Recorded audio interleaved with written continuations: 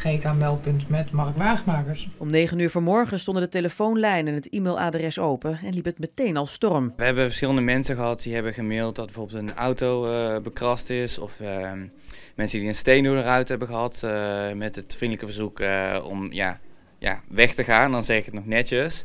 En ehm, ja, en er zijn ook mensen die gewoon fysiek lastig worden gevallen, die, waar we van verhalen hebben binnengekregen. Uit onderzoek blijkt dat Nederland nog steeds een van de meest tolerante landen is als het gaat om acceptatie van homoseksualiteit.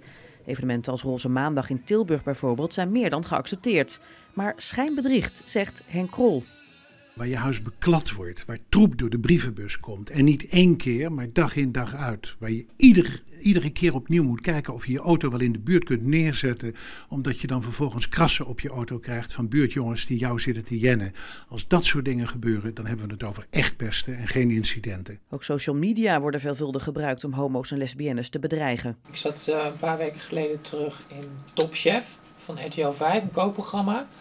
En daar ben ik uh, niet om mijn kokens, maar om mijn homoseksualiteit zo op Twitter afgekraakt. Ik heb volgens mij de afgelopen de, drie dagen na uitzending honderden negatieve reacties gekregen. Waarvan de vriendelijkste was dat ik op moest kankeren met mijn uh, homokop. Het meldpunt moet ervoor zorgen dat nu eens goed in beeld komt hoe groot het probleem van homohaat is. Want wat Krol betreft is de maat meer dan vol. Toen ik een vrouw van in de tachtig aan de lijn kreeg, die tegen mij vertelde dat ze met haar vriendin moet verhuizen uit het flatje omdat ze door buurtjongens wordt gepest. Toen dacht ik, dit is niet de wereld die wij aan onze kinderen willen nalaten. Hier moeten we wat aan doen. Binnenkort debatteert de Tweede Kamer over het pesten van homo's en lesbiennes in Nederland.